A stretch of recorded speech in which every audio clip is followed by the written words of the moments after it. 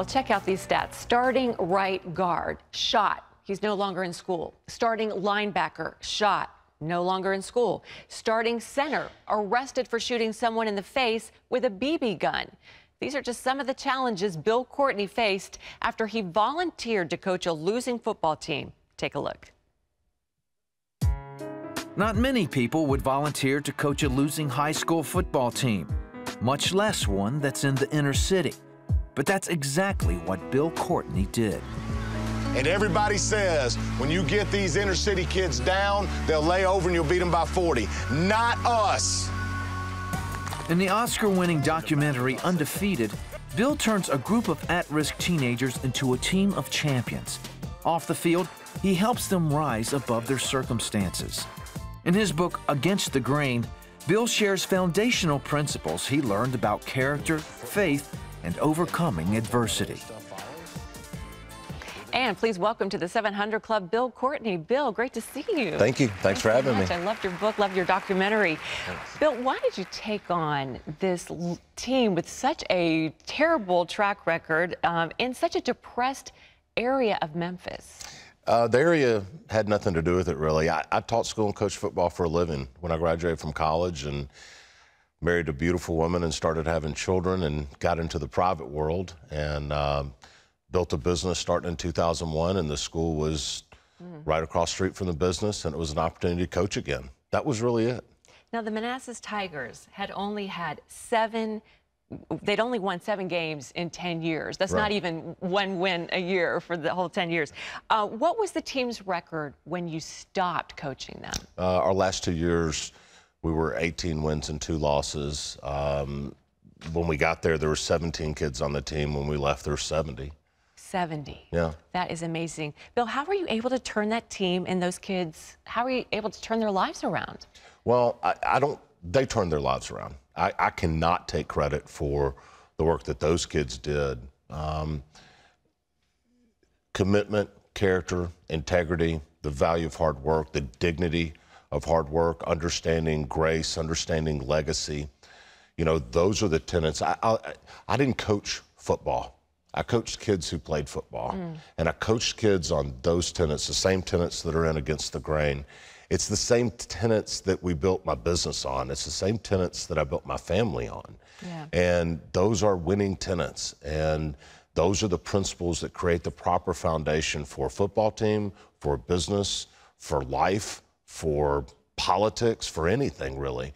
And so when people say, How did you do it? Mm. Well, I didn't do it. All I did was share with them these tenets and principles, give them an illustration of what those things look like in a, in a, in a productive life, and then let them use those tenets in their own life to make their own changes for themselves. Well, we always hear that football builds character, but you said something interesting in the documentary. Uh, in, your book, you say that football doesn't build character; it reveals character. What do you mean by that? Well, I, mean, I mean you, you build your character on commitment, integrity, all the things we've talked about. And then when something as meaningless as a game is not going to build something as important as your soul and your character. Right. But what it can do is it can reveal what you've built in terms of the tenets because the challenges in it can reveal whether or not you're going to wilt under the circumstances or rise to the occasion just like a toughness in business or maybe difficulty in a marriage or a sick child. Mm. Those things don't build character, but they certainly reveal your character that you've built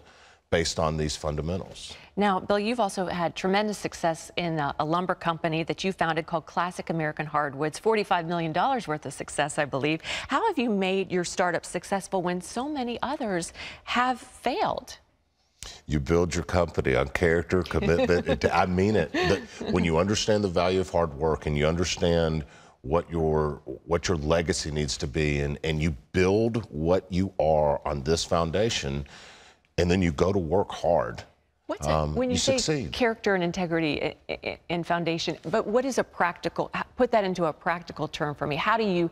Is it the way you treat your employees? Is it um, how? What do you do that's different? Well, I, I, first of all, I, the title of the book is Against the Grain. And pop culture today says you dig in on your ideals, and that's all there is to it.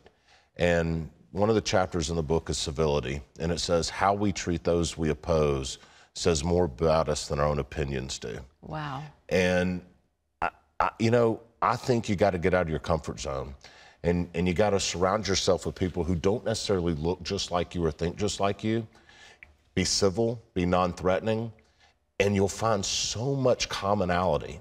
And then when you find that commonality, you can grow together from that basis. And when you find that commonality, right. you also understand a person's inhibitions and fears, your employees' inhibitions and fears, what makes them happy, what they want to do. And then you serve them by trying to make that happen for them. And when you serve them by trying to make that happen for them, and they recognize that you're working for their betterment, right. then they're going to follow you. And by definition, you are now leading. Bill, how did you get to be the way you are? You, your dad was not in the home. He left when you when you were about four years old. You were raised by your mom. How did that influence your life? Well, I had a great grandfather, and I had a lot of really positive coaches, and and I'm not exactly like any of them, but a little bit of them is yeah. all in me, right. and and I think I just got to I, guess it was a blessing because I got to choose a little piece of everything that I thought was the best in each person I knew and kind of made it my mantra, I guess. And of course, we have to talk about your faith. I mean, how does your faith sustain you? And, and you really didn't become a, a sold out believer till you were till you were married, right? Well, yeah, I, I was raised in the church, but I don't think I, I, understood what a personal relationship with God was until I was, uh, like you said, married with children. Didn't that change everything?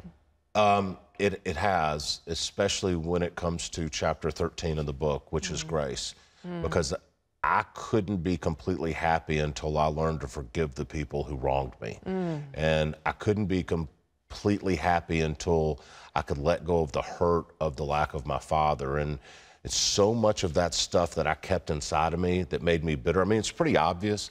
It's hard to be happy when you're bitter. yeah. You know, it makes a lot of sense. Well, you can't be fully happy if you're bitter, and you and you got to get rid of the bitterness by being forgiving. And to forgive, you have to understand God's forgiving of us and grace. And what a great role model because a lot of these kids that you were coaching, they were growing up without their dads. Very and bitter. here we talked you, about we talked about forgiveness and grace all yeah. the time because it's all of these things go together. And, and why is leaving a legacy? I know that is so important to you, and you talk about that in the book. Why is leaving a legacy important? Because I don't want the important stuff that I leave behind to be able to be sold in a yard sale. Mm. I want it to be something that makes so much more difference in someone's life than that. And um, how, how shallow and empty would we be if the things that we think are our legacy could be bought for five bucks on a Saturday afternoon in somebody's front yard. Yeah. We got to do something much bigger than that. I know you you gripped me. The very first chapter is gripping. Well, we've just uh, scratched the surface, Bill, and there's so much more in here. Bill's book is called Against the Grain, and it's available wherever books are sold. Bill Courtney, God bless you. You're an inspiration. Thank you so much. Appreciate it.